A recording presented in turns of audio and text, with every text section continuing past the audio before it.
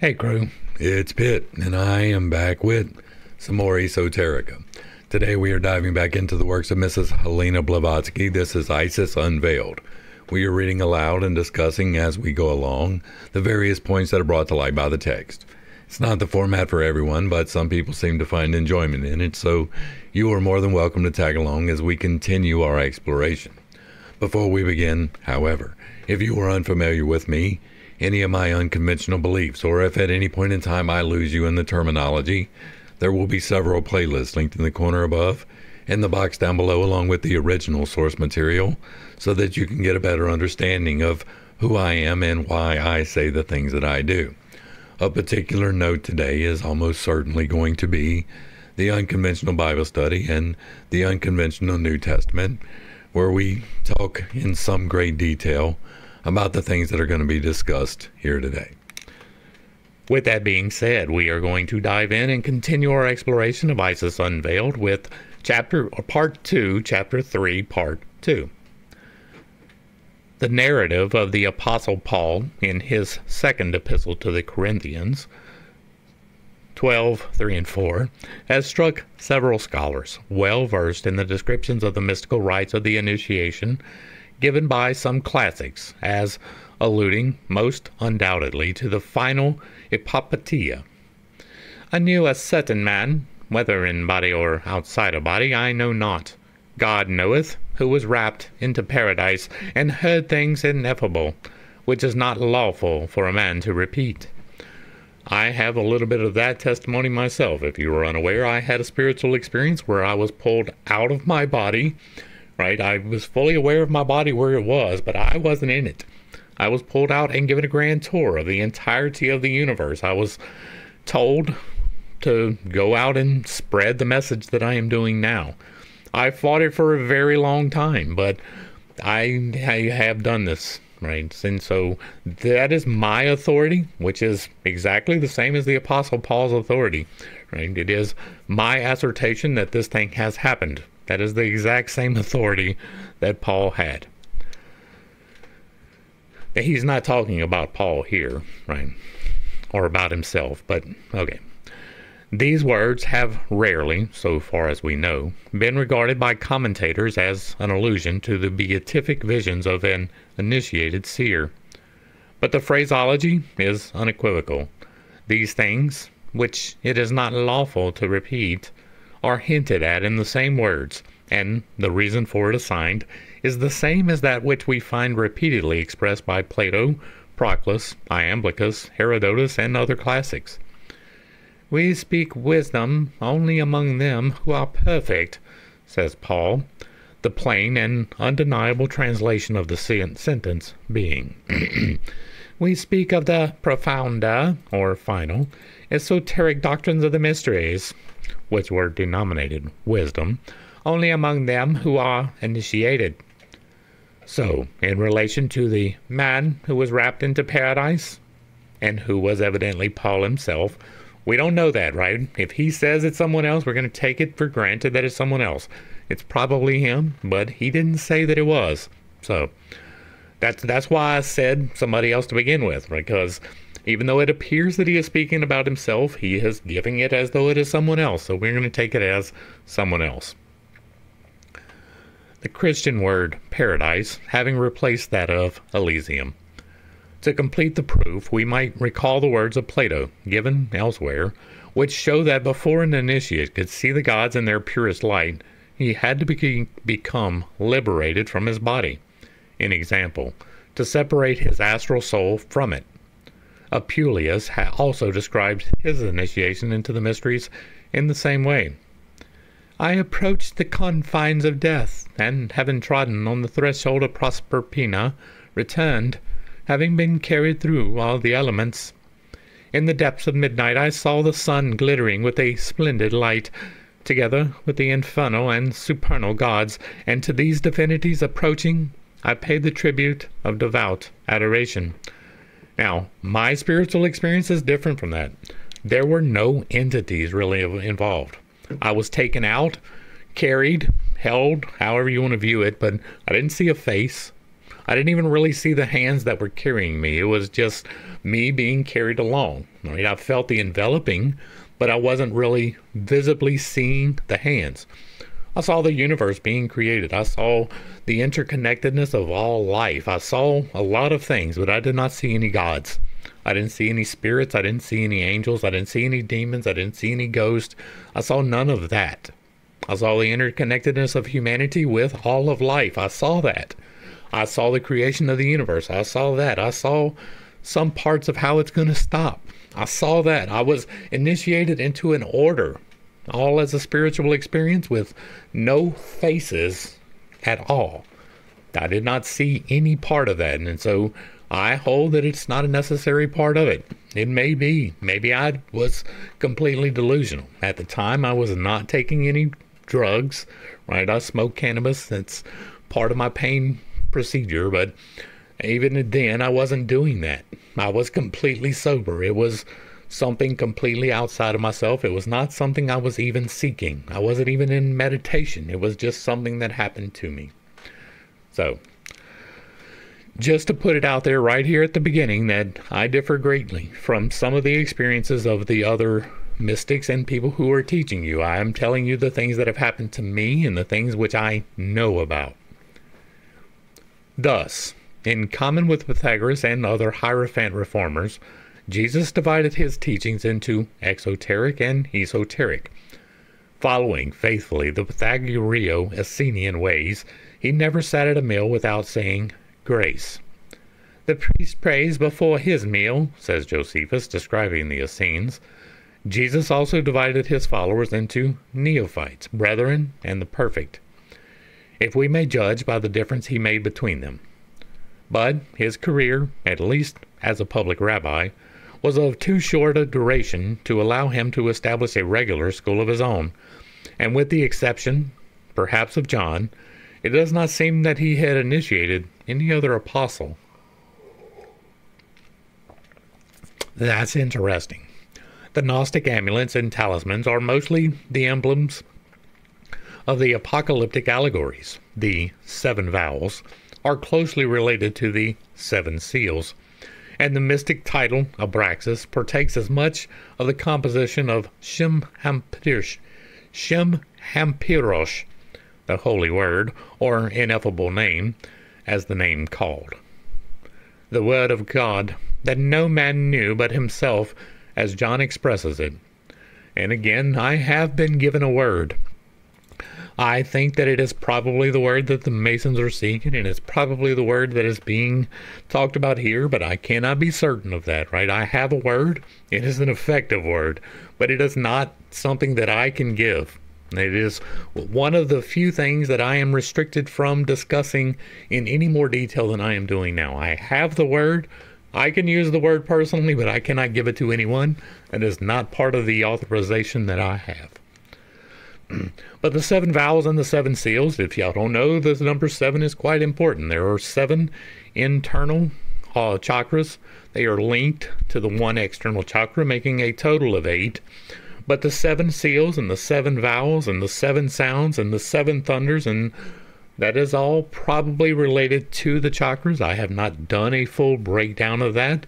When I did my Bible review, we weren't even really dealing with the chakras in the detail that we do now. A lot has changed in the last year, much less over the last couple of years. It would be difficult to escape from the well adduced proofs that the apocalypse is the production of an initiated Kabbalist, when this revelation presents whole passages taken from the books of Enoch and Daniel, which latter is in itself an abridged uh, imitation of the former. I don't find that to be true at all. We have done both Daniel and the book of Enoch. And in honesty, the first book of Enoch is the only one that I have dealt with that seems like it may even be from the correct time period, or even dealing with the correct mysteries. The later books from Second Enoch on all seem to be much later insertions of Christian dogma into a time when that would not have been a thing at all. Um, there is great reasons to doubt even the first book of Enoch, but if any of them were to be true, it would be the first one. Daniel is not even closely related to the books of Enoch. I do not understand how there can be that uh, comparison being made here. Maybe I'm just missing something, but I have done the Bible study. We have talked about it in extensive detail. And while Daniel absolutely was a magician or a wizard or a sorcerer or however you want to look at it, that doesn't bear correlating resemblance even to Enoch. So. and when, furthermore, we ascertain that the Ophite Gnostics, who rejected the Old Testament entirely as emanating from an inferior being, Jehovah, accepted the most ancient prophets, such as Enoch, and deduced the strongest support from this book for their religious tenets the demonstration becomes evident. We will show further how closely related are all these doctrines. Besides, there is the history of Domitian's persecutions of the magicians and philosophers, which affords as good a proof as any that John was generally considered a Kabbalist. As the apostle was included among the number and, moreover, conspicuous, the imperial edict banished him not only from Rome, but even from the continent. It was not the Christians whom, confounding them with the Jews, as some historians will have it, the emperor persecuted, but the astrologers and Kabbalists. The accusations against Jesus of practicing the magic of Egypt were numerous, and at one time universal, in the towns where he was known. The Pharisees, as claimed in the Bible, had been the first to fling it in his face, although Rabbi Wise considers Jesus himself a Pharisee. The Talmud certainly points to James the Just as one of that sect. But these partisans are known to have always stoned every prophet who denounced their evil ways, and it is not on this fact that we base our assertion. These accused him of sorcery and of driving out devils by Beelzebub, their prince, with as much justice as later the Catholic clergy had to accuse of the same more than one innocent martyr.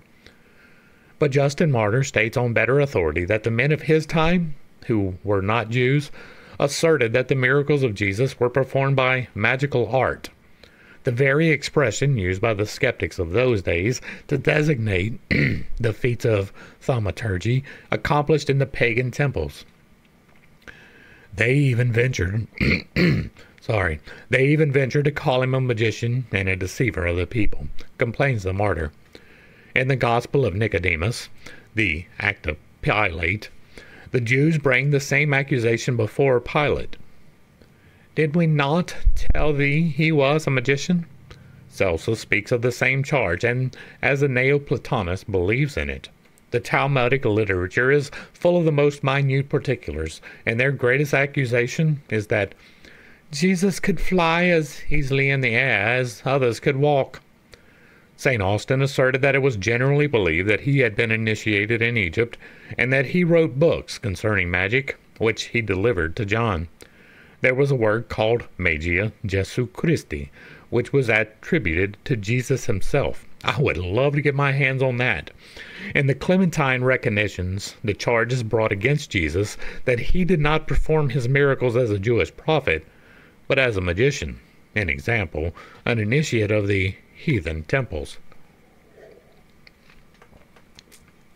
It was usual then, as it is now, among the intolerant clergy of opposing religions, as well as among the lower classes of society, and even among those patricians who, for various reasons, had been excluded from any participation of the mysteries, to accuse, sometimes, the highest hierophants and adepts of sorcery and black magic.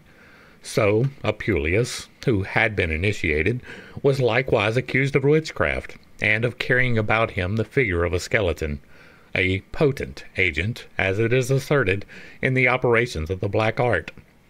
But one of the best and most unquestionable proofs of our assertion may be found in the so called Museo Gregor- Gregoriano. On the sarcophagus, which is paneled with bas reliefs representing the miracles of Christ, may be seen the full figure of Jesus, who is in the resurrection of Lazarus, appears beardless and equipped with a wand in the received guise of a necromancer, whilst the corpse of Lazarus is swathed in bandages exactly as an Egyptian mummy. Hmm. Had posterity been enabled to have several such representations executed during the first century, when the figure, dress, and everyday habits of the reformer were still fresh in the memory of his contemporaries, perhaps the Christian world would be more Christ like. The dozens of contradictory, groundless, and utterly meaningless speculations about the Son of Man would have been impossible, and humanity would now have but one religion and one God. It is this absence of all proof, the lack of the least productive clue about Him who Christianity has deified, that has caused the present state of perplexity. No pictures of Christ were possible until after the days of Constantine, when the Jewish element was nearly eliminated among the followers of the new religion. The Jews, apostles, and disciples, whom the Zoroastrians and the Parsees have inoculated with a holy horror of any form of images, would have considered it a sacrilegious blasphemy to represent in any way or shape their master. The only authorized image of Jesus, even in the days of Tertullian, was an allegorical representation of the Good Shepherd, which was no portrait, but the figure of a man with a jackal head, like Anubis. On this gem, as seen in the collection of Gnostic amulets, the Good Shepherd bears upon his shoulders the lost lamb. He seems to have a human head upon his neck, but, as King correctly observes, it only seems so to the uninitiated eye.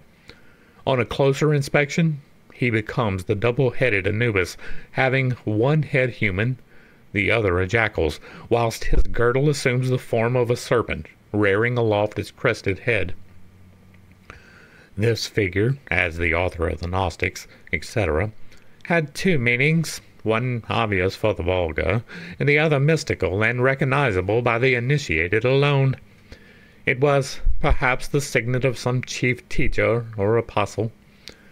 This affords a fresh proof that the Gnostics and early Orthodox Christians were not so wide apart in their secret doctrine. King deduces from a quotation from Epiphanius that even as late as 400 AD, it was considered an atrocious sin to attempt to represent the bodily appearance of Christ. Epiphanius brings it as an idolatrous charge against the Carpocratians that they kept a painted portraits and even gold and silver images and in other materials which they pretended to be portraits of Jesus and made by Pilate after the likeness of Christ. These they kept in secret along with Pythagoras, Plato, and Aristotle, and getting them all up together, they worship and offer sacrifices unto them after the Gentiles' fashion. What would the pious Epiphanius say were he to resuscitate and step into St. Peter's Cathedral at Rome? there is a lot of idolatry there. Ambrosius seems also very desperate at the idea that some persons fully credited the statement of Lampridius that Alexander Severus had in his private chapel an image of Christ among other great philosophers. That the pagans should have preserved the likeness of Christ, he exclaims, but the disciples have neglected to do so, is a notion the mind shudders to entertain, much less to believe.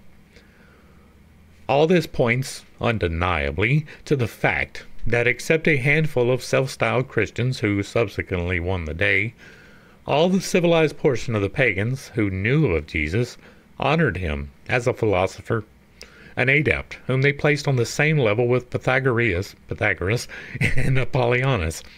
Whence such a veneration on their part for a man, were he simply, as represented by the synoptics, a poor, unknown Jewish carpenter from Nazareth? As an incarnated God, there is no single record of him on this earth capable of withstanding the critical examination of science. As one of the greatest reformers, an inveterate enemy of every theological dogmatism, a persecutor of bigotry, a teacher of one of the most sublime codes of ethics. Jesus is one of the grandest and most clearly defined figures on the panorama of human history. His age may, with every day, be receding farther and farther back into the gloomy and hazy mist of the past, and his theology, based on human fancy and supported by untenable dogmas, may, nay, must, with every day, lose more of its unmerited prestige. Alone, the grand figure of the philosopher and moral reformer, instead of growing paler, will become with every century more pronounced and more clearly defined. It will reign supreme and universal only on that day when the whole of humanity recognizes but one Father, the unknown one above, and one brother, the whole of mankind below. That is where I am at. If you are unaware, I am a deist, right? That is something that is fairly new to me as a concept. I didn't really like I knew most of the religions and I knew that there were people who believed in God without believing in any of the religions, but I didn't realize that there was a term for that and that is deist, right? I believe in God absolutely 1000%, fully and wholeheartedly. I worship the one.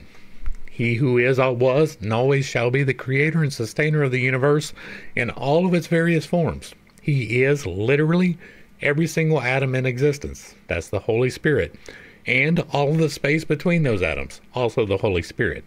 And you can take control of that. That is part of the manifestation process. But I believe in the deity.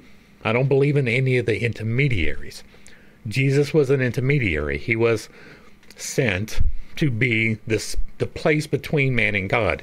I firmly and fully stand on both feet and with my full chest that you don't need an intermediary to intercede for you with God as a technical term. Now, you may need that in order to accept the fact that God does love you and that God will forgive you and that He wants the best things for you. You may need that intercession. That's why I don't hit Christianity as hard as it should be hit. Right? I am not out here to antagonize, although that may be changing. I am here to inform. God is real, and you do not have to believe in Jesus to believe that. That is the history of humanity. I understand fully that that is a unconventional belief and that it does have a tendency to step on toes. When I tell you that you can go directly to forgiveness for God, that sets people off in a way that nothing else does. It is really hard to have truth inserted into your illusion. In a pretended letter of Lentulus, a senator and distinguished historian to the Roman Senate, there is the description of the personal appearance of Jesus. The letter itself, written in horrid Latin, is pronounced a bare-faced forgery. But we find therein an expression which suggests many thoughts. Albeit a forgery, it is evident that who whosoever invented it has nevertheless tried to follow tradition as closely as possible. The hair of Jesus is represented in it as wavy and curling, flowing down upon his shoulders, and as having a parting in the middle of the head after the fashion of the Nazarenes. The last sentence shows 1. That there was such a tradition based on the biblical description of John the Baptist, the Nazaria, and the custom of this sect. 2. Had Lentulus been the author of this letter, it is difficult to believe that Paul should never have heard of it, and had he known its contents, he would never have pronounced it a shame for men to wear their hair long, thus shaming his Lord and Christ God. 3. If Jesus did wear his hair long and parted in the middle of the forehead after the fashion of the Nazarenes, as well as John, the only one of his apostles who followed it, then we have one good reason more to say that Jesus must have belonged to the sect of the Nazarenes and been called Nazaria for this reason, and not because he was an inhabitant of Nazareth, for they never wore their hair long.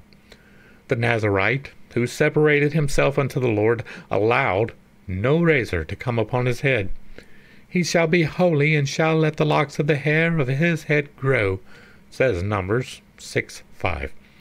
Samson was a Nazarite, an example, vowed to the service of God, and in his hair was his strength. No razor shall come upon his head, the child shall be a Nazarite unto God from the womb. Judges 13:5. But the final and most reasonable conclusion to be inferred from this is that Jesus, who was so opposed to all the orthodox Jewish practices, would not have allowed his hair to grow had he not belonged to this sect, which, in the days of John the Baptist, had already become a heresy in the eyes of the Sanhedrin. the Talmud, speaking of the Nazaria, or the Nazarenes, who had abandoned the world like the Hindu yogis or hermits, calls them a sect of physicians, of wandering exorcists, as also does Jervis. They went about the country living on alms and performing cures. Epiphanius says that the Nazarenes come next in heresy to the Corinthians, whether having existed before them or after them, nevertheless Synchronous and then adds that all Christians at that time were equally called Nazarenes. In the first remark made by Jesus about John the Baptist, we find him stating that he is Elias, which was for to come. This assertion, if it is not a later interpolation for the sake of having a prophecy fulfilled, means again that Jesus was a Kabbalist, unless indeed we have to adopt the doctrine of the French Spiritist and suspect him of believing in reincarnation. Except the Kabbalistic sects of the Essenes, the Nazarenes, the disciples of Simeon ben Iochi, and Hillel, neither the Orthodox Jews nor the Galileans believed or knew anything about the doctrine of permutation, and the Sadducees rejected even that of the resurrection. But the author of this Restitunius was Mosa, our master, upon whom be peace, who was the revolutio, transmigration, of Seth and Hebel, that he might cover the nudity of his father Adam, primus, says the Kabbalah. Thus, Jesus hinting that John was the revolutio, or transmigration of Elias, seemed to prove beyond any doubt the school to which he belonged. Until the present day, uninitiated Kabbalists and Masons believe permutation to be synonymous with transmigration and metempsychosis. But they are as much mistaken in regard to the doctrine of the true Kabbalist as to that of the Buddhist. True, the Zohar says in one place, all souls are subject to transmigration. Men do not know the ways of the Holy One, blessed be he, they do not know that they are brought before the tribunal, both before they enter the world and after they quit it. And the Pharisees also held this doctrine, as Josephus shows, Antiquities 18:13. Also the doctrine of Gilgul held to the strange theory of the whirling of the soul, which taught that the bodies of the Jews, buried far away from the Holy Land, still preserve a particle of soil which can neither rest nor quit them until it reaches the soil of the promised land. And this whirling process was thought to be accomplished by the soul, being co- conveyed back through an actual evolution of species, transmigrating from the minutest insect up to the largest animal. But this was an exoteric doctrine. We refer the reader to the Kabbalah Denudata, of Henry Khunrath, his language, however obscure, makes to throw some light on the subject. But this doctrine of permutation, or revolutio, must not be understood as a belief in reincarnation. That Moses was considered the transmigration of Abel and Seth does not imply that the Kabbalists, those who were initiated at least, believed that the identical spirit of either of Adam's sons reappeared under the corporeal form of Moses. It only shows what was the mode of expression they used when hinting at one of the profoundest mysteries of the Oriental Gnosis, one of the most majestic articles of faith in the secret wisdom. It was purposely veiled, so as to half conceal and half reveal the truth. It implied that Moses, like certain other godlike men, was believed to have reached the highest of all states on earth, the rarest of all psychological phenomena, the perfect union with the immortal spirit, with the terrestrial duad, had occurred. The Trinity was complete. A God was incarnate. But how rare such incarnations!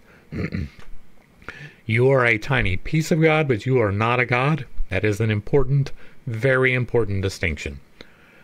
That expression, ye are gods, which to our biblical students is mere abstraction, has for the Kabbalist a vital significance. Each immortal spirit that sheds its radiance upon a human being is a god. the microcosmos of the macrocosmos, part and parcel of the unknown God, the first cause of which it is a direct emanation. It is possessed of all the attributes of its parent source. Among these attributes are omniscience and omnipotence.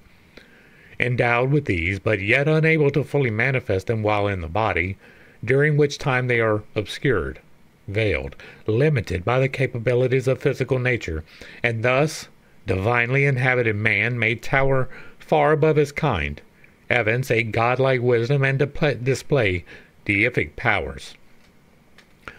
For while the rest of the mortals around him are but overshadowed by their divine self, with every chance given them to become immortal hereafter, but no other security than their personal efforts to win the kingdom of heaven. The so chosen man has already become an immortal while yet on earth. His prize is secured. Henceforth, he will live forever in eternal life. Not only he may have dominion over all the works of creation, by employing the excellence of the name, the ineffable one, but be higher in this life, not, as Paul is made to say, a little lower than the angels. The ancients never entertained the sacrilegious thought that such perfected entities were incarnations of the one supreme and forever invisible God. No such profanation of the awful majesty entered into their conceptions. Moses and his antitypes and types were to them but complete men, God on earth, gods on earth, for their gods, divine spirits, had entered onto their hallowed tabernacles, their purified physical bodies. The disembodied spirits of the heroes and sages were termed gods by the ancients. Hence, the accusation of polytheism and idolatry on the part of those who were the first to anthropomorphize the holiest and purest abstractions of their forefathers. The real and hidden sense of this doctrine was known to all the initiates. The Tanaim imparted it to their elect ones, the Isarim to the sol- in the solemn solitudes of crypts and deserted places. It was one of the most esoteric and jealously guarded, for human nature was the same then as it is now, and the sacerdotal caste as confident as now in the supremacy of its knowledge and ambitions of, of ascendancy over the weaker masses, with the difference, perhaps, that its hierophants could prove the legitimacy of their claims and the plausibility of their doctrines whereas now believers must be content with blind faith. While the Kabbalists call this mysterious and rare occurrence of the union of spirit with the mortal charge entrusted to its care the descent of the angel Gabriel, the latter being a kind of generic name for it, the messenger of life, and the angel Metatron, and while the Nazarenes term the same Abel Zivo, the delegatus sent by the Lord of Celestitude, and it was universally known as the anointed spirit. Thus, it is the acceptation of this doctrine which caused the Gnostics to maintain that, sorry, Jesus was a man, overshadowed by the Christos or messenger of life, and that his despairing cry from the cross Eloi, Eloi, lama sabachthani, was wrung from him at the instant when he felt that his inspiring presence had finally abandoned him. For, as some affirmed, his faith had also abandoned him when on the cross. The early Nazarenes, who must be numbered among the Gnostic sects, believing that Jesus was a prophet, held, nevertheless, in relation to him, the same doctrine of the divine overshadowing of certain men of God, sent for the salvation of nations, and to recall them to the path of righteousness. The divine mind is eternal, says the Codex, and it is pure light and poured out through splendid and immense space, pleroma. It is the genetrix of the eons, but one of them went to matter, chaos, stirring up confused, turbulentos, movements, and by a sudden portion of heavenly light fashioned it, properly constituted for use and appearance, but the beginning of every evil. The demiurge of matter claimed divine honor. Therefore Christus, the anointed, the prince of the eons, powers, was sent, expiritus, who, taking it on the person of the most devout Jew, Iesu, was to conquer him, but who, having laid it, the body, aside, departed on high. We will explain further on the full significance of the name Christos and its mystic meaning. and now, in order to make such passages as the above more intelligible, we will endeavor to define, as briefly as possible, the dogmas in which, with very trifling differences, nearly all the Gnostic sects believed. It is in Ephesus that flourished in those days the greatest college, wherein the abstruse Oriental speculations and the Platonic philosophy were taught in conjunction. It was a focus of the universal secret doctrines, the weird laboratory whence, fashioned in ancient Greek Grecian phraseology, sprang the quintessence of Buddhistic, Zoroastrian, and Chaldean philosophy. Artemis, the giant concrete symbol of theosophico pantheistic abstractions, the great mother multimama, androgyne, and patroness of the Ephesian writings, was conquered by Paul. But although the zealous converts of the apostles pretended to burn all their books on curious arts, enough of these remained for them to study when the first zeal had cooled off. It is from Ephesus that nearly that spread nearly all of the gnosis which antagonized so fiercely with the Irenaean dogmas, and still it was Ephesus, with their numerous collateral branches of the great college of the Essenes, which proved to be the hotbed of all the Kabbalistic speculations brought by the Tanaim for the cap- from the captivity. In Ephesus, says Matter, the nations of the Jewish Egyptian school, and the semi Persian speculations of the Kabbalists had then recently come to swell the vast conflux of Grecian and Asiatic doctrines, so there is no wonder that teachers should have sprung up there who strove to combine the religion newly preached by the apostle with the ideas there so long established. Had not the Christians burdened themselves with the revelations of a little nation and accepted the Jehovah of Moses, the Gnostic ideas would never have been termed heresies. Once relieved of their dogmatic exaggerations, the world would have had a religious system based on pure Platonic philosophy, and surely something would then have been gained. Now, let us see what are the greatest heresies of the Gnostics. We will select Basilides as the standard for our comparisons, for all the founders of other Gnostic sects group up round him like a cluster of stars borrowing light from their sun. Basilides maintained that he had all his doctrine from the Apostle Matthew, and from Peter through Glaucus, the disciple of the latter. According to Eusebius, he published 24 volumes of interpretations upon the Gospels, all of which were burned a fact which makes us suppose that they contained more truthful matter than the school of Irenaeus was prepared to deny. He asserted that the unknown, eternal, and uncreated Father, having first brought forth nous, or mind, the latter emanated from itself, the Logos. The Logos, the word of John, emanated in its turn phronesis, or the intelligences, divine human spirits. From phronesis sprung Sophia, or feminine wisdom, and dynamis, strength.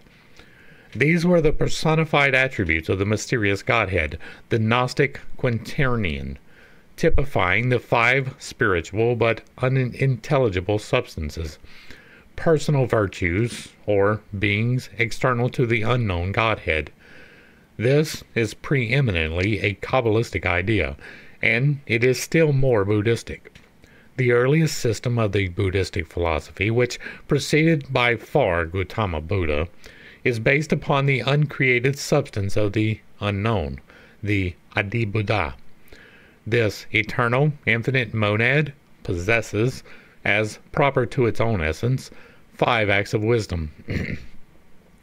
From these, it, by five separate acts of dhyan, emitted five dhyani Buddhas. These, like Adi Buddha, are quiescent in their system, passive. Neither Adi nor either of the five dhyani Buddhas were ever incarnated, but seven of their emanations became avatars.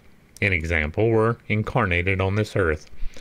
Describing the Basilidean system, Irenaeus, quoting from the Gnostics, declares as follows When the uncreated, unnamed Father saw the corruption of mankind, he sent his firstborn, Nous, into the world in the form of Christ for the redemption of all who believe in him out of the power of those who fabricated the world, the Demiurgus and his six sons, the planetary genii.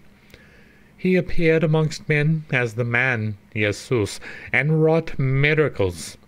This Christ did not die in person, but Simeon the Cyrenian suffered in his stead, to whom he lent his bodily form. For the divine power, the nous of the eternal Father, is not corporeal and cannot die. Whoso, therefore, maintains that Christ has died is still the bondsman of ignorance. Who denies the same, he is free, and hath understood the purpose of the Father. I don't deny that he died. I don't know either way. I don't think that his death had the significance that is attributed to it, and so that amounts to pretty much the same thing, I think. So far, and taken in its abstract sense, we do not see anything blasphemous in this system.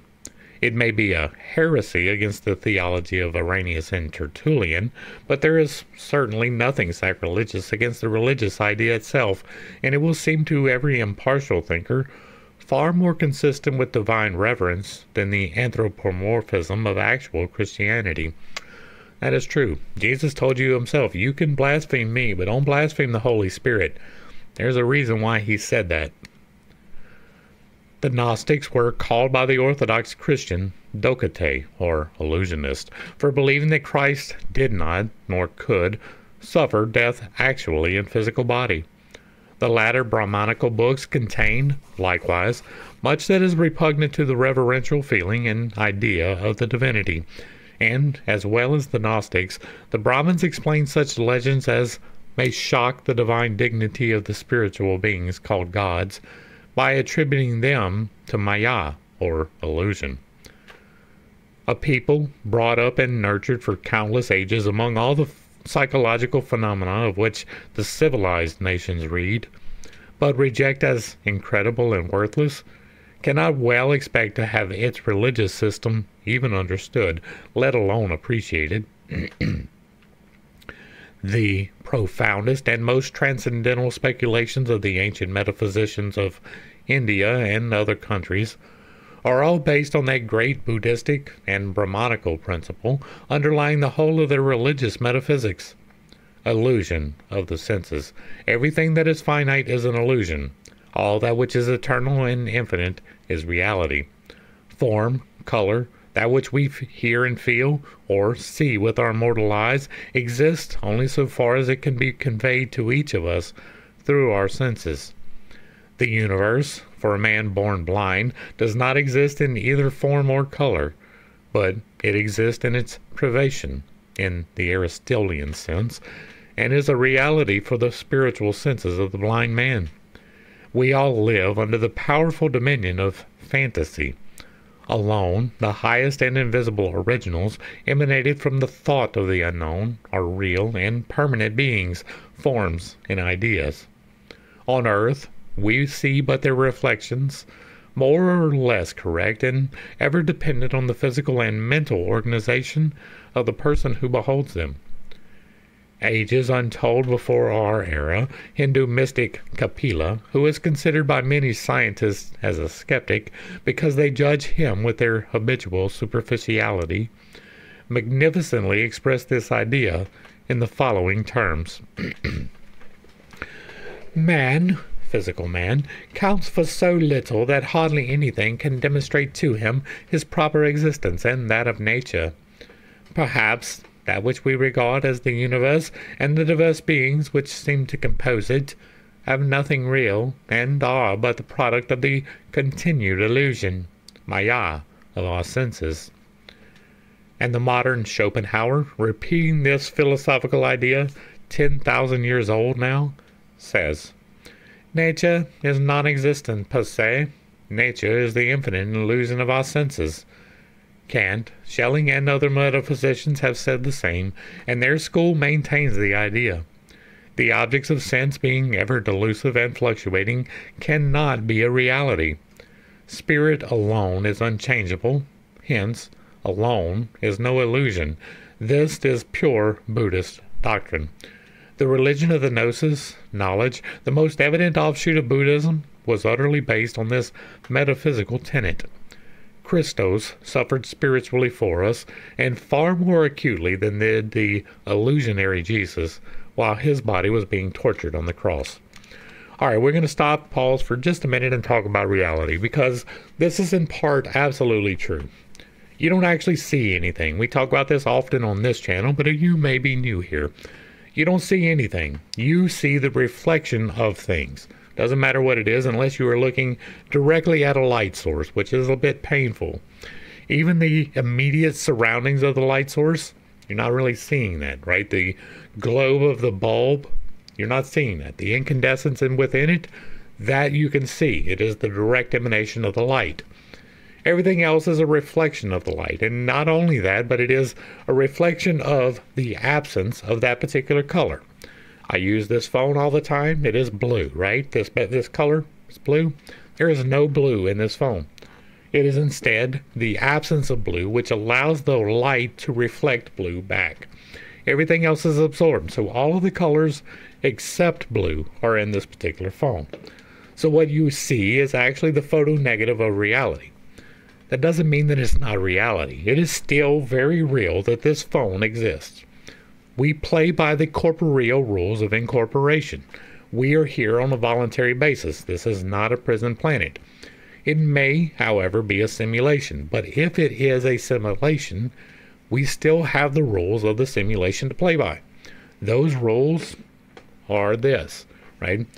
You don't actually ever touch anything. I am not actually touching this phone right now. What I am doing is being held off by the magnetic repulsion of the atoms in this phone from the atoms in my finger. You don't ever actually touch a thing, you merely get really, really close to it. So close, in fact, that the electromagnetic emanations that hold you together and the electromagnetic emanations that hold it together are working in close coordination with each other to give the illusion of holding the phone. But regardless, the phone is in my hand. Whether I'm actually touching it or not, the phone actually exists. You can actually call me on my phone if you have my number. Some of you do. You can alter reality to a certain degree. There are things that you can do that can change actual reality. But to the best of my knowledge and my experience, I cannot form this phone into a white case just by thinking it, wishing it, and hoping it. I cannot alter this in that manner. It is bound by the laws of incorporation to be the color that it is agreed upon being. It has a, a very important distinction there, right? While nothing is actually real, everything is actually real. All of these things are here for the purpose of incorporation, and they are part of the rules by which we play in incorporation. you are here for a reason, for a purpose, and being born blind, if you are blind, doesn't alter the fact that this is the absence of blue, reflecting blue back to my retinas. Doesn't change that. It just changes your ability to see that. Your perception of things operates in the exact same way. If you see this as a prison planet, then all of your perceptions will be geared towards seeing prison planet in everything. If you, however, understand that there are rules in incorporation, and that as long as you play within the rules of incorporation, which are the eight laws of creation, by the way, you can greatly affect your incorporated experience. I have, as we have talked about several times through this study, healed myself. Me talking to you in this tone of voice is part of that. I have other healings going on within me, part of which I have revealed here, but the real revelation on most of that is still waiting to come. But through the meditative practices and the beliefs that I have and the viewpoint that I hold on life and the actual dedication to do the prayer, fasting, meditation, and yes, magic, I have affected change within my corporeal body. I have affected the temple. I have had a small measure of control outside of myself. I have affected the wa- wa- affected the weather on at least one occasion, and I felt the repercussions from it, so I don't play with it anymore. But I did that. I I have affected things both within myself and without of myself. And as long as I am playing by the eight laws of creation, which are the foundational concepts which hold reality together, as long as I am playing by the eight laws of creation, I can affect change. You can do the same thing, but I cannot affect you and not affect the repercussions of what it is, right? So if I go and non consensually heal you, that is a problem on a karmic level. If you, however, give consent, I can affect you. Affecting things on a grand scale will bite you in the butt. Trust me on this one. It is one of the eight laws of creation and one that has given me much grief over the years. And so I wanted to touch briefly on reality because I don't know that we have done that in this particular study, and you may only be here for this particular study. So, in part, their conceptualization of this is absolutely true. Nothing is real. But in part, it is absolutely untrue. Everything is real. Those are both true and untrue at the same time. And I understand that is a difficult concept to wrap your head around, but life is experiential. You are here for the experience of life, and part of that is the rules by which we play. Too many people get caught up in this, it's an illusion, it is not real, and they think that they can affect things that they can't or shouldn't. And that is an extremely large problem within the entirety of this community of which I am a part called spirituality, right? I am doing magic. That is setting me apart from a great number of people. But most of the people who claim to be doing magic, I am set apart from them as well. I'm not out here trying to influence in the way that we see these other people do. The Wiccans, I'm quite intimately familiar with the, the Wiccans and what they stand for the neo paganism, uh, all of those things I understand greatly because I used to practice them. And I understand that most of them are doing it to be contrary. They are not doing it through actual faithful service of the actual idea behind which they are congealing themselves. and so, this is in part a call out for the philosophers and for those who are practicing magic you're doing it wrong. All right. In the idea of the Christians, Christ is but another name for Yeshua. The philosophy of the Gnostics, the initiates, the Hierophants understood it otherwise. The word Christos, like all Greek words, must be sought in its philological origin, the Sanskrit. In this latter language, Chris means sacred, and the Hindu deity was named Krishna, the pure or the sacred from that. On the other hand, the Greek, Greek Christos bears several meanings, as anointed, pure oil, chrism, and others. in all languages, through this, though the synonym of the word means pure or sacred essence, it is the first emanation of the invisible Godhead, manifesting itself tangibly in spirit. We're going to pause here and talk about the oil. There is another teacher out there. I'm not going to call his name, but you can find him, who talks an awful lot about the Christos oil. Now, on first inspection of his content, I was like, yeah, he seems to be onto something. But I'm not entirely sure that he is on to the correct something because of a lot of the things that he holds onto that I know to be pretty much untrue. Now, the main tenet in which he is talking about is referring to the Christos as the oil that is secreted within yourself that allows the spiritual experience. And that is the true part. You can, through the ways that I talk about in the Infinite Integrations playlist, take the energy which is available to you as the Holy Spirit and move it within yourself. Part of that moving it within yourself is how I have healed myself, and part of it is activating this oil. This is secreted from your third eye, right? The pineal gland, which is not here in the front of your forehead, although part of it extends most of the way there. The actual energetic emanations of this gland are about the size of your fist, and they start, and if you put your fingers just in front of your ears, above and just in front, slightly behind the indention of the temple, right?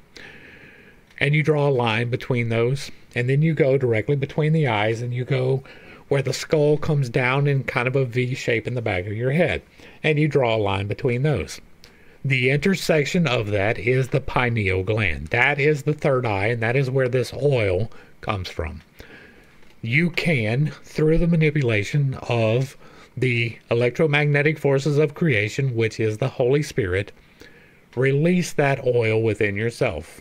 That oil contains dimethyltryptamine, which is DMT.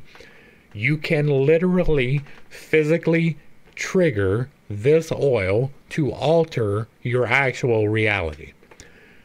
It can be done in a variety of ways, but one of those ways he describes and one of those ways I describe. I do it through the energetic manipulations. I don't do it necessarily through fasting. I don't rely upon one day of the month or one week of the month in which to do it. I can do it whenever I want to.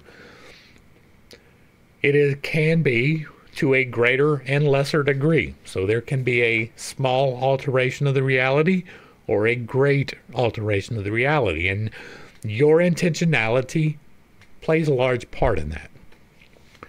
For the most part, I do not partake in the great alteration of reality. I use very little bit of that oil and I alter the way that I see the life, the reality in which we are in, the structure of the simulation, if you care to look at it that way, becomes more mutable when that oil is active. But the more oil that is active, the less you are able to control the mutability of reality. So I don't use a lot of it, right? I trigger just a little bit, just enough to make my vision do the thing that it is to do. If you have ever partaken of psychedelics, that is what happens. I don't need mushrooms to enter that state. I don't need to go to some tribe and drink the boiled root of a tree tied with the, the plant and the flower of another in order to trigger this. It is something that I can do internally for myself. I don't need those experiences.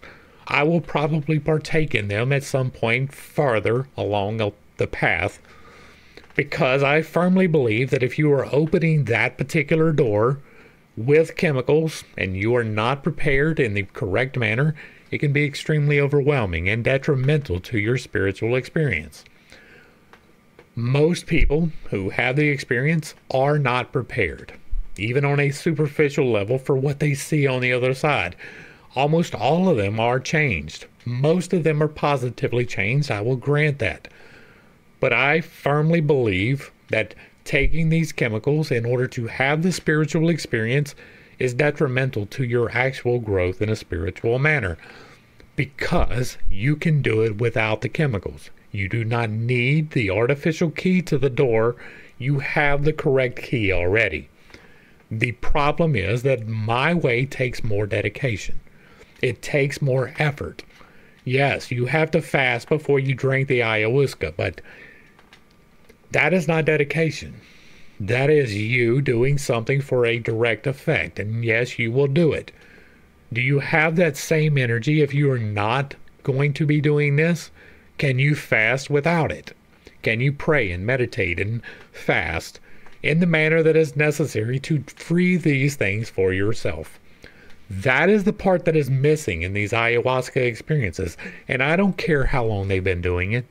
I don't care how many different cultures do it. I do not care in the slightest. Just because something has been done a very long time does not make it correct. And the fact that most of the people who are partaking of this substance do not have the growth on the other side of it. There is a change in almost every exa- in every example, but it's not always necessarily for the betterment. You believe in new things and it strips away a lot of the old things, and that's good. But there's a lot of people out there going to seek these entities to talk to them, and that's a problem. There are good entities, there are bad entities. We have talked about that through this whole series, so I'm not going to dive into it too much, but there are entities aligned for the betterment of mankind and for the detriment of mankind and you don't know what you're getting, especially if you're in an altered state that you did not trigger. That's a problem. That is the problem with these purple entities. That is the problem with these multi armed entities that people go and they talk to, and then they find out things and they're not prepared for it. Back to the text. The Greek logos, the Hebrew Messiah, and the Latin Verbum and the Hindu Viradj, the son, are identically the same. They represent the idea of collective entities, of flames detached from one eternal center of light. The man who accomplishes pious but interested acts with the sole object of his salvation may reach the ranks of the devas, saints. But he who accomplishes disinterestedly the same pious acts finds himself ridden forever of the five elements of matter. Perceiving the Supreme Soul in all beings and all beings in the Supreme Soul, in offering his own soul in sacrifice, he identifies himself with the being who shines in his own splendor. Manu, Book 12, Slokas 90 and 91. And that is in part talking about what I just said, right? If you accomplish the pious but interested acts with the sole object of his salvation, you may reach devas, right? If you are doing the things in the correct manner, then you may reach this. But he who accomplishes disinterestedly the same pious acts finds himself ridden forever of the five elements. That is a restating of my just little rant a minute ago. Thus, Christos as a unity is but an abstraction a general idea representing the collective aggregation of the numberless spirit entities, which are the direct emanations of the infinite, invisible, incomprehensible first cause, the individual spirits of men, erroneously called the souls. And see, I'm gonna, I'm gonna have severe exception to that too, right? We are here for a purpose, and that purpose is growth, learning, and lessons. The way that we achieve that is through our individual incorporation. We have the body, which is the temple of God. We have the Holy Spirit, which is the all encompassing everything that is, the part that turns the now into the next. And then we have the souls. The souls are the tiny individualized piece of God that is you. So Call it erroneous if you want to, but it is the reality of what is. There is the body, the soul, and the spirit. Those are the three parts of the Trinity. That is the foundational conception of our reality. And that is, indeed, the spirit of men. They are the divine sons of God, hmm, of which some only overshadow mortal men. But this, the majority, some remain forever planetary spirits, and some, the smaller and rare minority, unite themselves during life with some men. Now, I am going to say again you open yourself up to these entities. Whether you intend to or not, whenever you partake of these chemical substances and artificially create the reality change, you are opening yourself up to possession. That is one of the foundational problems with the psychoactives. You do the same thing, if you were unaware, whenever you are doing meditative practices. If you are astral projecting and you have not taken precautions, you can be inhabited. That is always, without exception, a bad thing. Every single time that there is a spirit inhabiting a soul or a temple that is not the individualized piece that was assigned to that body, it is wrong. Every single time, regardless of who it is or their intentions. You are not divine. You are a tiny sliver of divinity, right? The the soul that is divine, but it is a piece of God, not God. Such godlike beings as Gautama Buddha, Jesus, Tisu, Krishna, and a few others had united themselves with their spirits permanently. Hence, they became gods on earth. I stand exactly where I just stated. Others, such as Moses, Pythagoras, Apollonius, Plotinus, Confucius, Plato, Iamblichus, and some Christian saints, having at intervals been so united, have taken rank in history as demigods and leaders of mankind. When unburdened of their terrestrial tabernacles, their freed souls, henceforth united forever with their spirits, rejoin the whole shining host, which is bound together in one spiritual solidarity of thought and deed, and called the Anointed. Hence the meaning of the Gnostics, who, by saying that Christos suffered spiritually for humanity implied that his divine spirit suffered mostly. I've already expressed what I need to on that. So. Such, and far more elevating, were the ideas of Marcion, the great heresiarch of the second century, as he is termed by his opponents. He came to Rome towards the latter part of the half century from AD 139 to 142 according to, to Tertullian, Irenaeus, Clemens, and most of his modern commentators, such as Bunsen, Tischendorf, Westcott, and many others.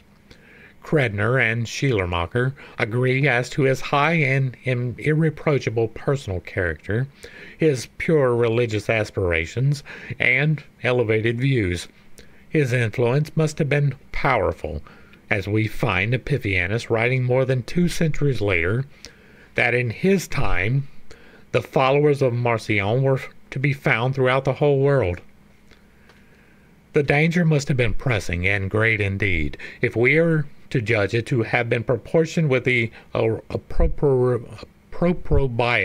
epithets and vituperation heaped upon Marcion by the great African, that patristic Cerberus, whom we find ever barking at the door of the Irenaean dogmas we have but to open his celebrated refutation of Marcion's antithesis to acquaint ourselves with the fine fleur of monkish abuse of the Christian school, an abuse so faithfully carried through the Middle Ages to be renewed again in our present day at the Vatican.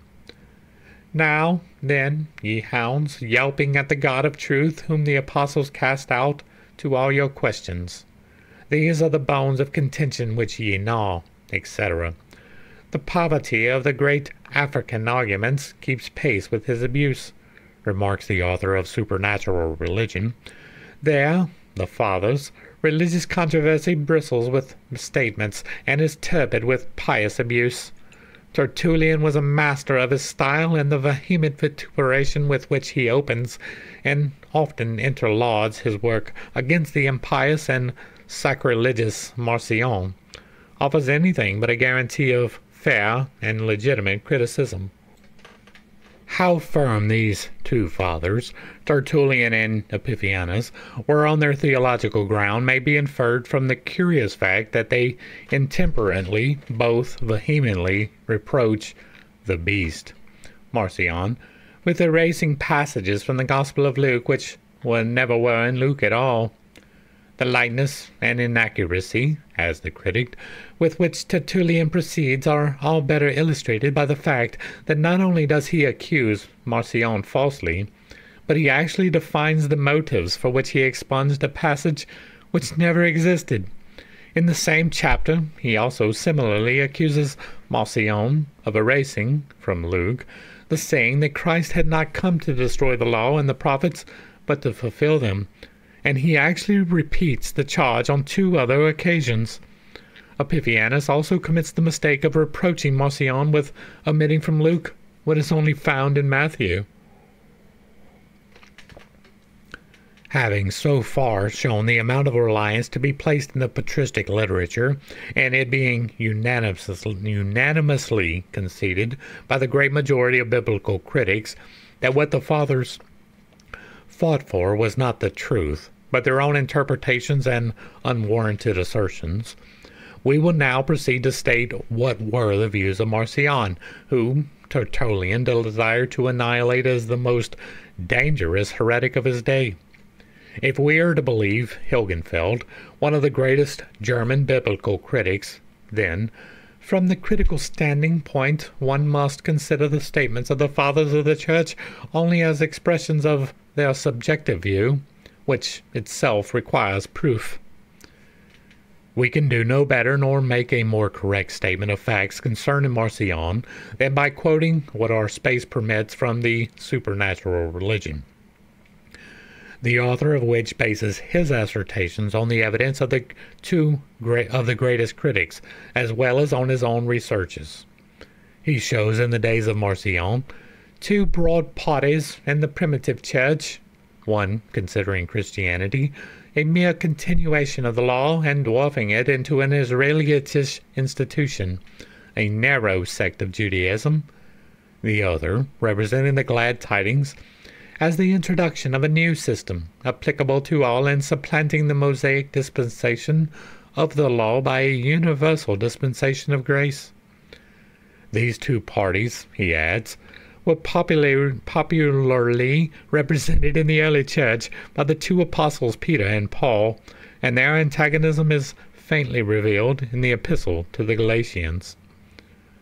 Marcion, who recognized no other gospels than a few epistles of Paul, who rejected totally the anthropomorphism of the Old Testament, and drew a distinct line of demarcation between the old Judaism and Christianity, viewed Jesus neither as a king, Messiah of the Jews, nor the son of David, who was in any way connected with the law of the prophets, but the divine being sent to reveal to man a spiritual religion wholly new, and a God of goodness and grace hitherto unknown.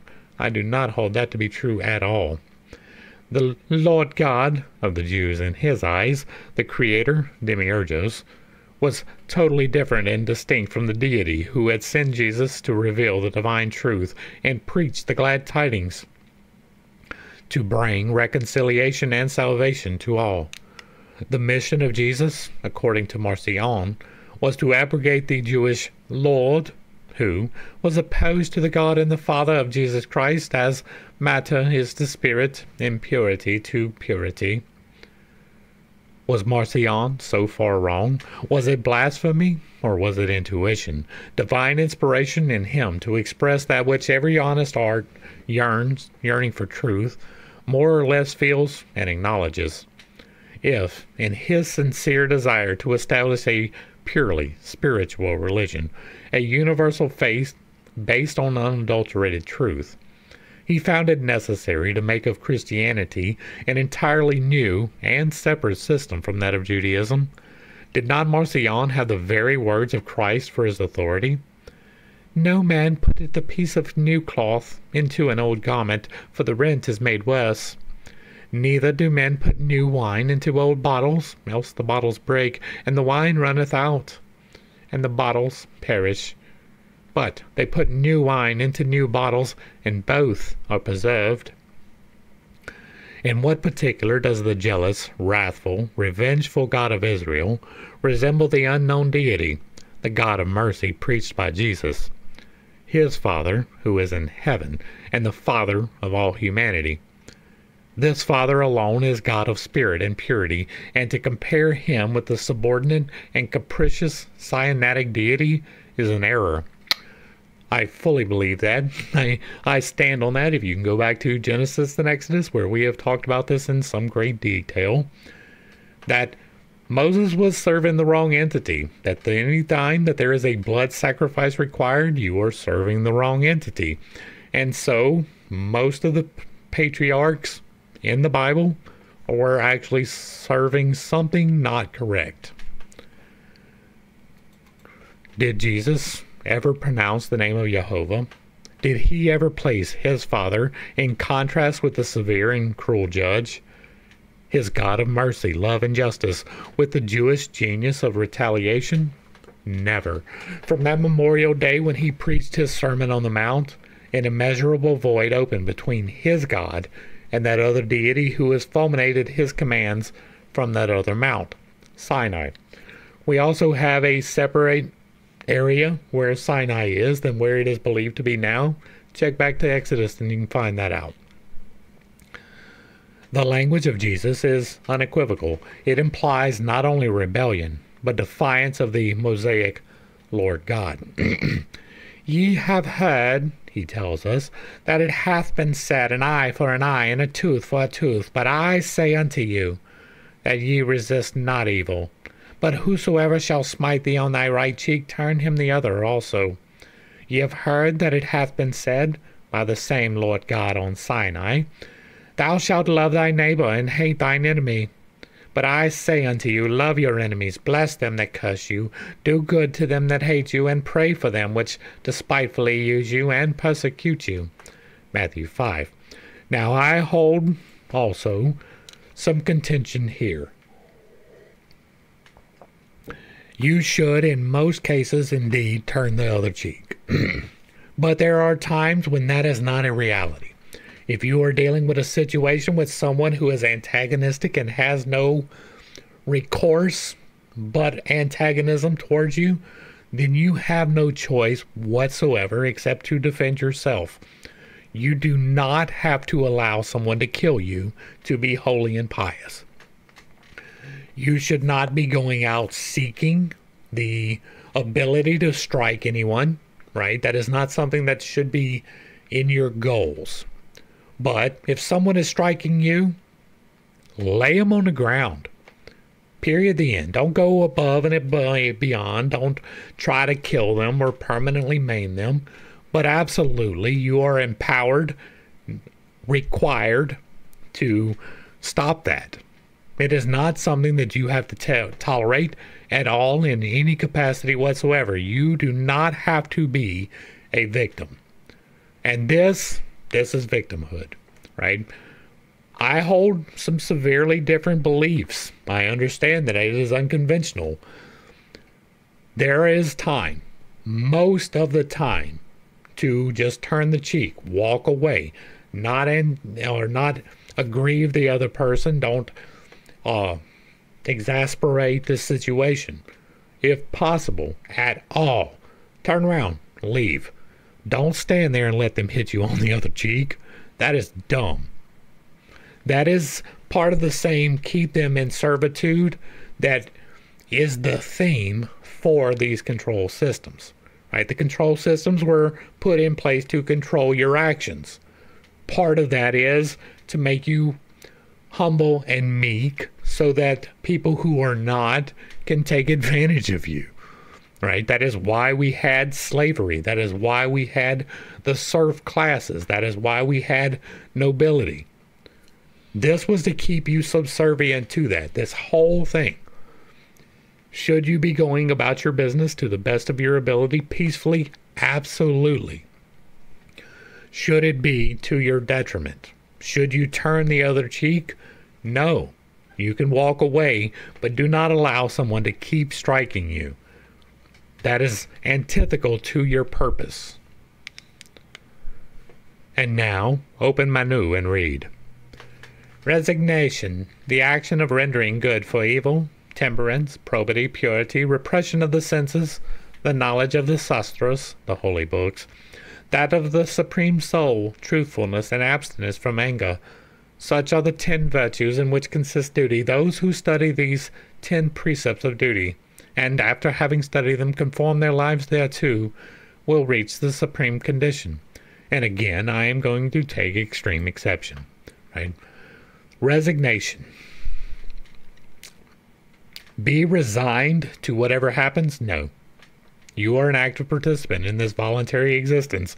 You get to have your own abilities. You get to have your own wants, needs, desires, and the, the capacity to carry that out. The action of rendering good for evil. Some cases that is absolutely a thing. If someone is acting out of bounds because they have been abused, absolutely show compassion. But you don't have to tolerate evil just because you were good. That doesn't mean to go out and smite the infidels. That is not what I am saying. I am saying protect you and yours. Temperance. We talk about temperance all the time. There are seven virtues and there are seven vices, right? Temperance is the expression of the opposite of gluttony, right? Gluttony is consuming everything with no regard to anything. And uh, temperance, in its extreme, is the denial of self of everything to the exclusion of everything. You're not meant to be either one of those, right? You're not meant to exclude yourself from all things. But you're meant to be temperate. You can have a drink or two. Don't drink the whole bottle. You can drink every once in a while. Don't drink every day, right? That is temperance in its primal form, the way that it should be. The balance between the two, the virtue and the vice. It is the same for all of the virtues and the vices, and anger is the opposite of love. So you are meant to give love, absolutely. You're meant to show love as much as you possibly can. But there is a time for anger as well. Again, walk away if you can, but don't let them strike you on the cheek twice. Abstinence from anger is stupid. God gave you anger for a reason. It is to allow you to understand that this situation is not correct. And so you get mad. That does not mean that you have to strike out every time that you get mad. Learn moderation, temperance, right? Purity, the repression of the senses, again, no, right? You are not meant to be fully chaste and never have sex. That is not the intention of the incorporation. It can be for some very few select people who are on that particular path, right? There's a path for pretty much all of it.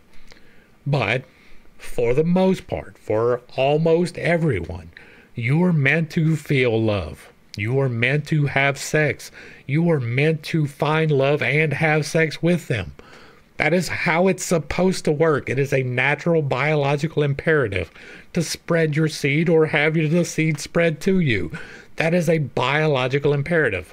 Do you think God put it in you as a mistake? Is that what you believe? That lust is a horrible, sinful thing? I lust after my wife so much. I will love that woman. She is the best woman on the planet, and I find her sexier than any other woman on the planet. I don't care about the other women. I lust after my wife. And that is not a bad thing. There is nothing wrong with that whatsoever. I have pride in my accomplishments, but I am not so prideful as to believe that I am correct in everything, despite what it may seem like here. The balance between the virtues and the vices is the goal, not the exclusion of all the vices, not the acceptance of all the virtues. The balance between them. That is where you were meant to live. And there are seven, not ten. Back to the text. If Manu did not trace these words many thousands of years before the era of Christianity, at least no voice in the whole world would deny them, deny them a less antiquity than several centuries BC. The same in the case of the precepts of Buddhism. Sorry, there's cayenne in this, and sometimes it can be a little bit hard to get down. If we turn to the Pratimokkha Sutra and other religious tracts of the Buddhist, we read the following, the ten following commandments. Thou shalt not kill any living creature. Thou shalt not steal. Thou shalt not break thy vow of chastity. Thou shalt not lie. Thou shalt not betray the secrets of others. Thou shalt not wish for the death of thy enemies. Thou shalt not desire the wealth of others. Thou shalt not pronounce injurious and foul words. Thou shalt not indulge in luxury, sleep in soft beds or be lazy, and thou shalt not accept gold or silver. That is stupid. That is stupid. I'm, I'm just going to put it out there like that. I know that probably step on some toes. Thou shalt not kill any living creature. What about inadvertently? I'm walking through the grass and I step on a bug and I crush it. Does that condemn me to some eternal damnation? Right? I know Buddhists don't exactly believe that, but that is the spirit that is being conveyed. You are not meant to live a life of exclusion, and that includes the eating of animals. I know there's a lot of people that believe that you can have a healthy lifestyle eating vegetarian. Not really. It takes an extreme amount of effort. There's a lot of people that believe you can make a diet completely out of nothing but carnivorous materials. That is stupid. You are not meant to live in a life of exclusion, either of meat or of plants. We are omnivores. We are meant to eat both of them. That is a very real fact and one of the rules of the incarnation that we're in. Should you kill anything arbitrarily? No. I go out of my way to save the life of insects. I do. And it's not because of this commandment. It is because it is simply the right thing to do. There is no need to be excessively cruel, and so I go out of my way to save spiders and flies. Right? Thou shalt not steal. Yeah, that's a good one. that one right there is good. But thou shalt not break thy vow of chastity. Again, you're not meant to be chaste. With very few exceptions, some people are built that way. That is real, just the same as some people are built for polygamy, right? Most people, however, are built to have that one person, and they are meant to have that. It is not meant for you to be chaste throughout your life. It's just simply not. Thou shalt not lie, another good one. Thou shalt not betray the secrets of others. I'm 100% with that. Unless it is one of those secrets where I'm going to go and do harmful things to this person, but don't tell nobody. Absolutely tell. Absolutely tell every single time. But outside of that, you should not be betraying people, period.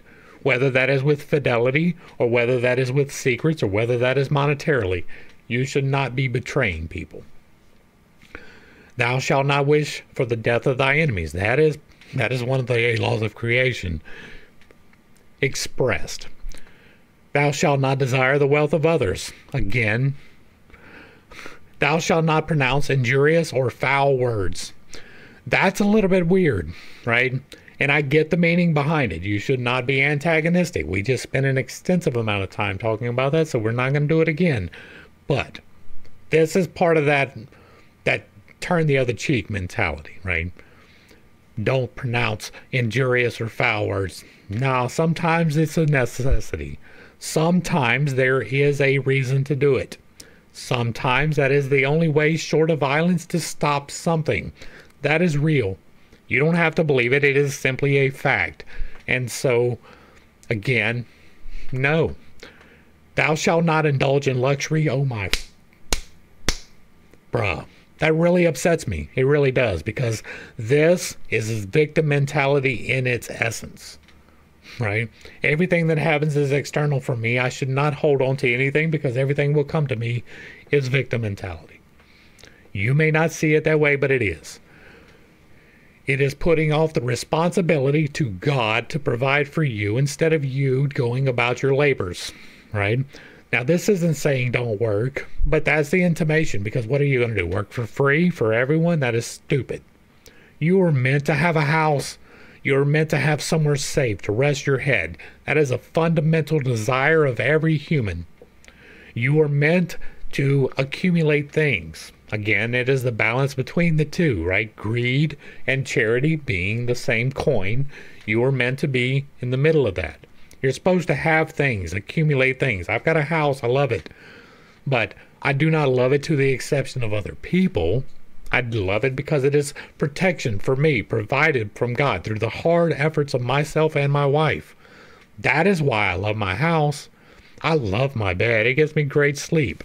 I love the food that I eat, right? All of these are provisions. They have been given to me. Many people would consider them luxuries. I don't. I consider them necessities. You should have a house. You should have a soft bed. And occasionally, it's okay to be lazy. That should not be the fundamental principle of your life. I don't want to do anything. But you shouldn't be lazy either. You should be productively employed. And thou shalt not accept gold or silver is absolutely the dumbest fucking thing I've seen written in this entire study. And I, again, I don't care how long it's been a thing, that doesn't make it correct. God knows, if nothing else, that is what I am here to break down. Good master, what shall I do that I may have eternal life? asked a man of Jesus. Keep the commandments. Which? Thou shalt do no murder, thou shalt not commit adultery, thou shalt not steal, thou shalt not bear false witness, is the answer. And again, you've already got eternal life. Here's the kicker for a lot of you Christians the soul is eternal. It is. It's already eternal. You already have eternal life. Now, I believe, this is my belief, that it was somewheres prior to being in this temple, right? This soul was somewheres prior to being in this beat suit. Before I was in 5D space, I was way out there in AD space, part of the divine. And I came here with purpose and intention, voluntarily. Why will me, the soul, will leave this temple at some point. The temple will fade away and return to the elements, as we have seen repeated throughout the study. It will reconstitute itself into nature and then from there be assimilated into other forms of life. That is all true. But the soul is already eternal. It's already was somewheres prior to being here and going somewheres when it leaves here. There was no concept of hell in the Old Testament, period. The end. It was not there. There was Sheol, which was the land of the dead, and that's where everybody went. There was not even a whole lot of speculation about what that meant. To me, that is a reunification with the actual divinity, the actual divine in AD space. It is entirely possible that I will come back for another incarnation, but it will not be in this body right? The soul is already eternal. It can come back. It came here once. It can come back again. There's nothing to restrict that. The soul is already eternal. So, what shall I do to have eternal life? Exist. Now, what can I do to ensure that I have uh, rewards in the eternal life? Well, you can live a good life, but I really don't believe that there is a reward waiting on the other side. And I know that's a step too far for some people. Streets of gold, where, you know, gold which doesn't matter and you should be in poverty, that well that's going to be everywhere. So it, it's perfectly fine that there's gold and silver and rubies and emeralds and diamonds all over this eternal city. That ain't got nothing to do with greed at all, nothing. I believe that the reward is the return. Now, if you have lived a life full of terrible things, you're probably not going to like the reunitement with the divine. You're going to find out that you failed all of your lessons. Or if you've lived a holy and a pious life, you find out that you you kept all of your lessons and you get the chance to not come back. I fully believe that, and you don't have to. That is one of the things that we're not going to be able to prove, but it is my spiritual experience which has brought me to that right? It is not because I read it from someone else. It is because I have experienced something outside of the normal. And from that, I have investigated the things which I once believed, and I have found them to be untrue. And so I adjusted my beliefs in accordance with the experience that I had. I can relay that experience to you, but I can't give it to you, right? I can tell you about it, but I can't make you feel it. And so it is until the end going to be my opinion. This is their opinion. I hold contention with their opinion. Doesn't mean that they're wrong. It doesn't mean that I'm right, but I do feel like I am right. What shall I do to obtain possession of Bodhi, knowledge of eternal truth? Ask a disciple of his Buddhist master. What way is there to become an upasaka? Keep the commandments. What are they? Thou shalt abstain all thy life from murder, theft, adultery, and lying, answers the master. Identical injunctions, are they not? Divine injunctions the living up to which would purify and exalt humanity. But are they more divine when uttered through one mouth than another? If it is godlike to return good for evil, does the enunciation of the precept by a Nazarene give it any greater force than its enunciation by an Indian or Tibetan philosopher? We see that the Golden Rule was not original with Jesus, that its birthplace was India. Do what we may, we cannot deny that Sakyamuni Buddha, a less remote antiquity than several centuries before the birth of Jesus, in seeking a model for his system of ethics, why should Jesus have gone to the foot of the Himalayas rather than the foot of Sinai? But that the doctrines of Manu and Gautama harmonized exactly with his own philosophy, while those of Jehovah were to him abhorrent and terrifying the Hindus taught to return good for evil, but the Jehovistic command was an eye for an eye and a tooth for a tooth. Would Christians would Christians still maintain the identity of the Father of Jesus and Jehovah if evidence sufficiently clear could be adduced that the Lord God was no other than the pagan Bacchus, Dionysos, well, this identity of the Jehovah at Mount Sinai with the god Bacchus is hardly disputable. The name is Yahweh or Io, according to Theodoret, which is the secret name of the Phoenician mystery god, and it was actually adopted from the Chaldeans, with whom it was also the secret name of the Creator. Wherever Bacchus was worshipped, there was a tradition of Nysa and a cave where he was reared. Bethsan or Scythopolis in Palestine had that designation. So had a spot on Mount Parnassus. But Diodorus declares that Nysa was between Phoenicia and Egypt. Euripides states that Dionysus came from Greece from India, and Diodorus adds his testimony. Osiris was brought up in Nysa, in Arabia the Happy. He was the son of Zeus, and was named from his father, nominative Zeus, genitive Dios, and the place Dionysios, the Zeus or Jove of Nysa. This identity of, of name or title is very significant. In Greece, Dionysus was second only to Zeus, and Pindar says, So Father Zeus governs all things, and Bacchus he governs also, but outside of Greece, Bacchus was the all powerful. Zagreus, the highest of the gods. Moses seemed to have worshipped him personally and together with the populace at Mount Sinai. Unless we admit that he was an initiated priest and adept who knew how to lift the veil which hangs behind all such exoteric worship, but kept the secret. And Moses built an altar and called the name of it Jehovah Nisi, or Io Nisi. What better evidence is required to show that the Sinaitic god was indifferently Bacchus, Osiris, and Jehovah? Mr. Sharpe appends his testimony that the place where Osiris was born was Mount Sinai, called by the Egyptians Mount Nisa.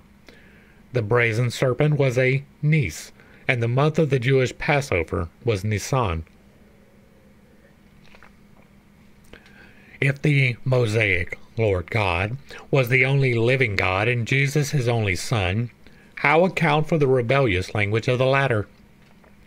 Without hesitation or qualification, he sweeps away the Jewish lex talionis, and substitutes for it the law of charity and self denial. If the Old Testament is a divine revelation, how can the New Testament be? Are we required to believe and worship a deity who contradicts himself every few hundred years? Oh, it is much more common than that. Was Moses inspired or was Jesus not the Son of God? This is a dilemma from which the theologian are bound, bound to rescue us. It is from this very dilemma that the Gnostics endeavored to snatch the budding Christianity. Justice has been waiting 19 centuries for intelligent commentators to appreciate the difference between the Orthodox Tertullian and Gnostic Marcion. The brutal violence, unfairness, and bigotry of the great African repulse all who accept his Christianity. How can a god, inquired Marcion, break his own commandments? Yes.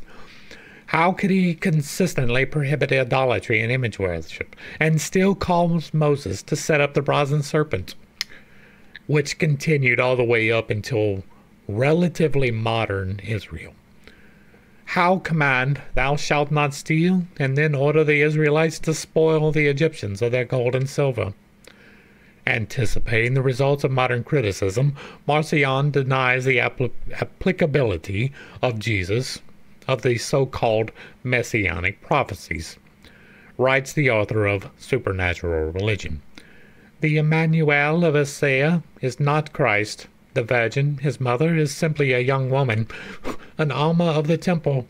And the sufferings of the servant of God, Isaiah, are not predictions of the death of Jesus. That right there is the main thing that you need to take from this entire study. not near, not really, but in large part, yes. Hopefully, I brought a little bit of enlightenment and not too much confusion to a somewhat difficult topic. I understand that I hold some unconventional beliefs and that I have a tendency to step on toes when I relay those. It is not intentional, but it is not something I apologize for. It is important to note this last part. Right? We talk often about how, and most especially now because it is December of the year 2024, and we are but days away from the pagan ritual of a Yule that we have termed Christmas. It is important to understand that there was no prophecy of a virgin birth in the Old Testament. That was not a thing they did not believe it. They were not anticipating it. What actually happened was Isaiah went to the king and he's like, Tell me the sign that you would like to have. And the king's like, Whoa, I am not tempting God with that. And Isaiah says, Fine, I will give you the sign. This young woman, the maiden, not a virgin, but a maiden, will give birth. And th- that child will be eating curds by the time that you are hauled off into captivity. And then it happened exactly like that. Isaiah married that young woman, had a child with her, and when that child was eating curds, Babylon came and took him into captivity. That is what happened. It was nothing about a virgin birth, nothing about the redemption of the people, nothing at all as what has been portrayed. That is true of all the prophecies, at least the ones that we went through, right? We didn't go through, I don't think we went through Amos, and we didn't go through all of Hosea. I think we may have went through part of it. But we went through Isaiah, we went through Daniel, we went through most of the major prophets, and we talked in extensive detail in this Bible study about those things because they are foundationally a problem for Christianity. There were a lot of problems for Christianity contained in the Old Testament. Not the least of which is this, but in part, like David was a horrible person all the way through the entirety of his life, all the way up until the point of death. David was a horrible person at best, possibly an entity or possessed by an entity at worst. Almost certainly, at least a bisexual with homosexual proclivities. Solomon was a uh, fratricide, right? He killed all of his brothers so that he could assume the throne and then claim that that was divine intervention. He literally made his money like the bulk of Solomon's money came from something that he was expressly denied the ability to do. It was stated by the prophets well before his time, like maybe even by Moses himself or Aaron, but when you have kings in the future, because they didn't then, those kings are expressly denied the ability to go to Egypt and buy horses and chariots. That was Solomon's hmm. main source of income. He was an arms dealer. He bought arms, chariots, and horses from Egypt and the remnants of Midian and sold them for profit to the neighbors to the north, who, by the way, took over his people shortly thereafter. There are a lot of reasons to doubt the veracity of the Old Testament and the New Testament being built upon the bones of the Old Testament are equally broken. None of the prophecies that are attributed to calling for the birth, death, and resurrection of Jesus are real. All of those prophecies are self insertions of a later religion into the text of an older religion in order to subvert the meanings of those texts, like we just saw in Isaiah as is pointed out by them in Isaiah, and as I point out all of the time about Isaiah. It is through this Bible study that I came to leave Christianity and to come to where I am at now. The path that I am on now, the fruits are love. The fruits are healing. The fruits are acceptance and growth. It is all positive fruits over here from the path that I am on now. But when I was on Christianity's path, those fruits were not the same. The healing that I am experiencing in very real ways are because of my falling off from this particular religion, because of these regions. It is not uncommon to find within the same book, but often within the same chapter, of the entirety of the Old Testament contradictions to what they are saying within the book, right? Some of those are pointed out here. God can't break his own commandments. When he told him to raise up a brazen serpent and by looking at it, it would be healed, that was idolatry. You don't have to believe that, but it was, right? You can you can formulate your beliefs based upon whatever you want but the factual matter is is that when they were amidst the serpents god put a serpent on a stick and told them to look at it and they did. And they worshiped that serpent according to the history in the bible for hundreds of years. It held a place of honor in the temple of solomon. A snake on a stick now, you can have an exoteric view of that. You can have an esoteric view of that, and that'll be okay. But you cannot say that God said no idolatry and then this idolatry is okay. It just doesn't work that way. You can't say that God told you to break off the bonds of slavery and then to take slaves. You can't say that. It is not within the, the domain of the divine. And that's where I'm going to go ahead and wrap this one up. If you were unclear about any of the things that I talked about, this Bible study is going to clear up a lot for you. It is long. I understand that. There are 161 videos in there. Most of them are about an hour long. We went through in extensive detail all the way through the important parts of the Bible, right? We did the five main books of the Old Testament Genesis, Exodus, Leviticus, Numbers, and Deuteronomy in entirety. We went through Isaiah and Daniel and Ezekiel in their entirety. We didn't get to some of the minor prophets because, quite honestly, it wasn't necessary. We did Matthew, Mark, Luke, and John, not quite in their entirety, but enough to show that it is not the correct path. Now, it might be the correct path for you. You can find God wherever you particularly choose to worship because God will find you.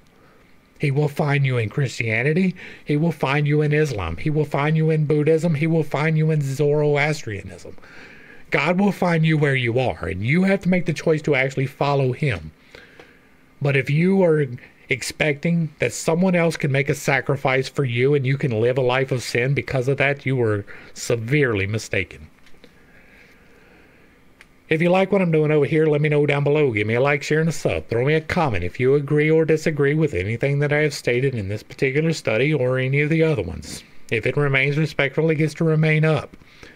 If you really like what I'm doing over here, hit me with that super thanks. And if there is something you would like to see me discuss in the manner that we are doing now, let me know in the comments as well. I am always looking for new content. To the crew. Thanks for hanging out. I appreciate every single minute that you were here with me, and I am praying for you every single day. Until next time, I love you. God loves you. You are perfect, whole, and complete, just the way that you are. And this has been Pitt's Take. Peace.